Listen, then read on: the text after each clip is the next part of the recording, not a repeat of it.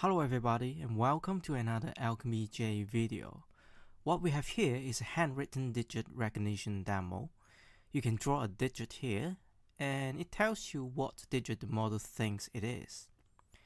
Have you ever thought that this prediction model was actually built using Excel? In today's video, we will check out an amazing neural network model workbook I found on YouTube. You will also see how I turned it into an API using AlchemyJ and then use it with this user interface that I built. This is really exciting, so stay tuned.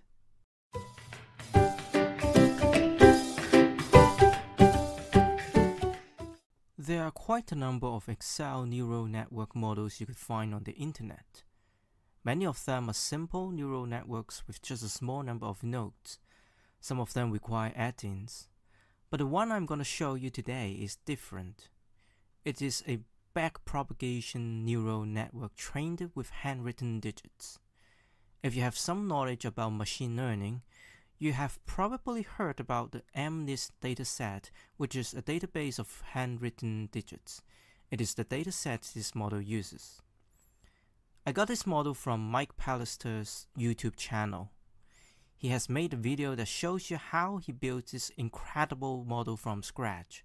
It is absolutely amazing to watch. If you want to learn how this model works in detail, or you want to download his original model, be sure to check out his video.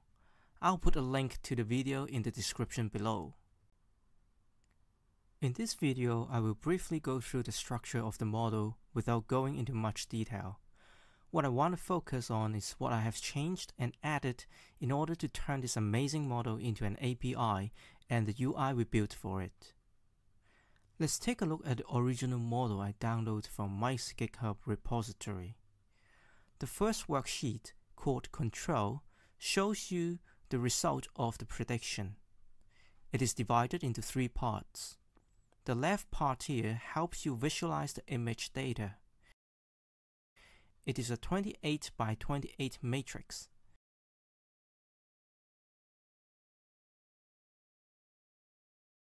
Each cell represents a pixel in the image.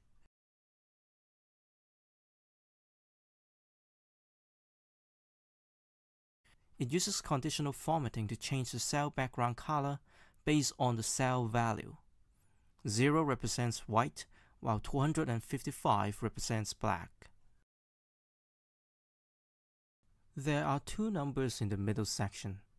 The one on the left is the target, which means the actual number the current record represents. The one on the right is the output which refers to the prediction result from the neural network. The NN worksheet contains the actual neural network.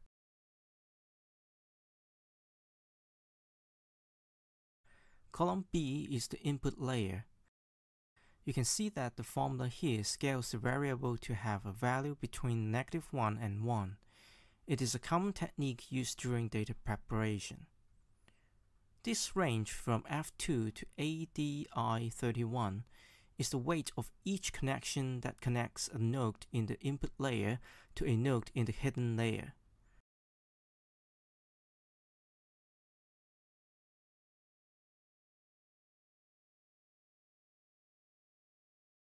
The range here has 30 rows, which means this neural network has 30 nodes in the hidden layer.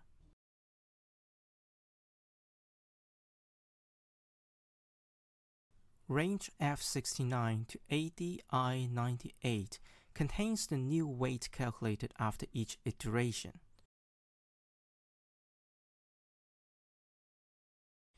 When we run the learn VBA macro, it copies the new weights to the weight here.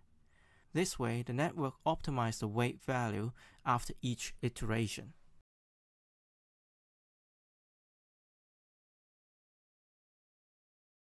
The same goes for the output weight here. The output layer has 10 nodes, O0 to O9. They represent the confidence level of digits 0 to 9.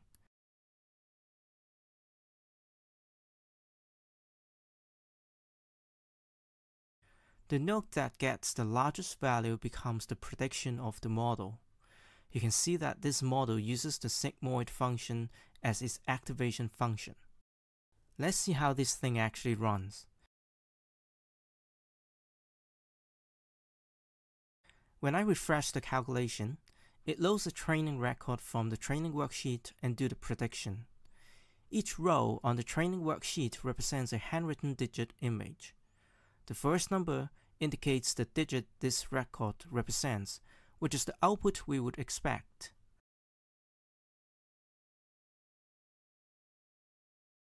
Let's go back to the control sheet. The formula in cell AE2 uses a random function so that it picks a different row every time. When I calculate the workbook again, it loads another one. I'll stop here as far as explaining the model. If you want to know the details, you should check out Mike's video. Let's move on to part 2, which is converting this Excel model to an API. We use AlchemyJ to do that. In case this is the first time you hear about AlchemyJ, it is a tool that can turn an Excel model into an API. In this video, we will be generating a REST API for our user interface to consume. Here is a workbook I have upgraded from the original one. The major gap between a workbook and an API is the API definition. It defines the function name, input parameters, and output parameters. The first thing I did was upgrading the workbook to an AlchemyJ model by using the initialize model function. It initializes the workbook so it contains the necessary macros and worksheets required by AlchemyJ. Next, I added a REST API definition and a REST endpoint group definition to the workbook. They are used to define the definition of an API.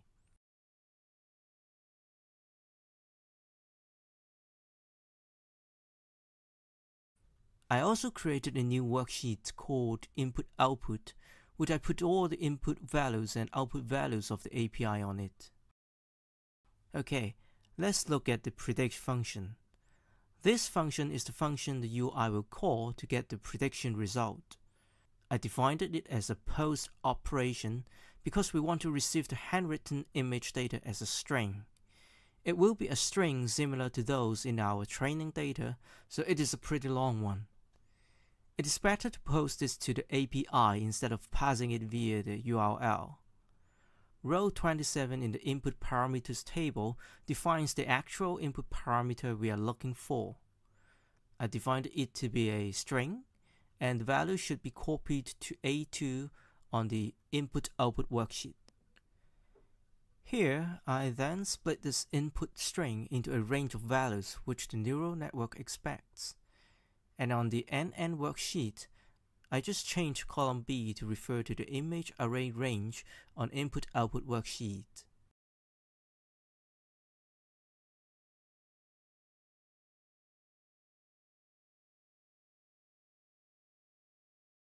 As for the output, we have the classification which is the prediction result.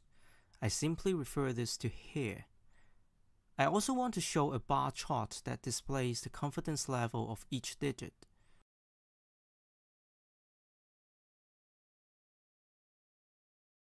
So I also define some cells here,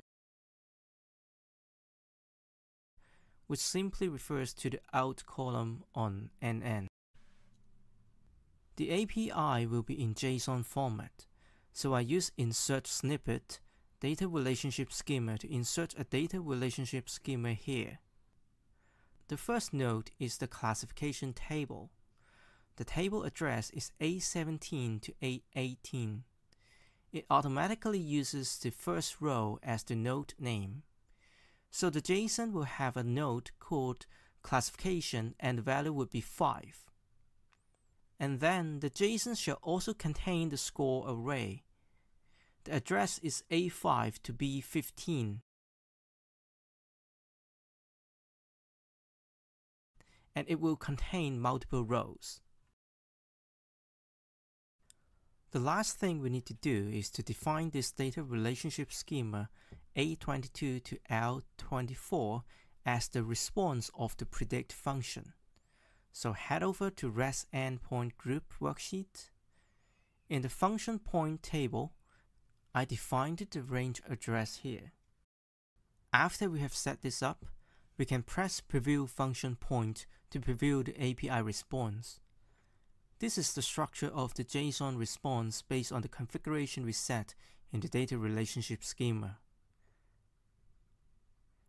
We can now hit the Generate API button and generate the REST API Java code.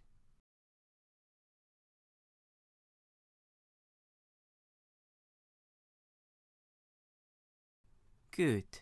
We are moving on to the last part of this video which is building the UI. So here is the UI that I have built. It is a simple HTML file. This area here is a canvas that allows you to draw. When I click this recognize button, it calls a JavaScript function predict.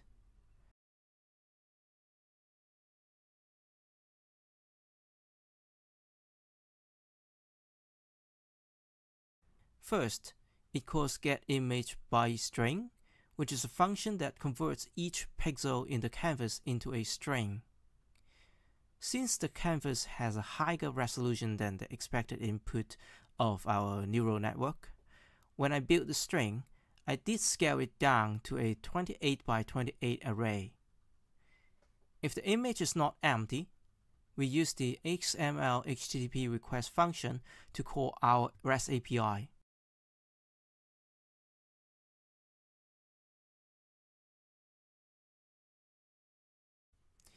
Here is the URL of the API call.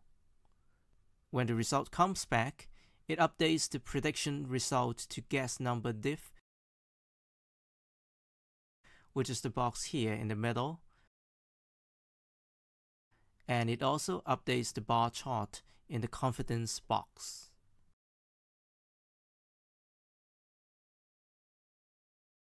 Okay, let's try it out. Click recognize and voila, it recognized the digit correctly.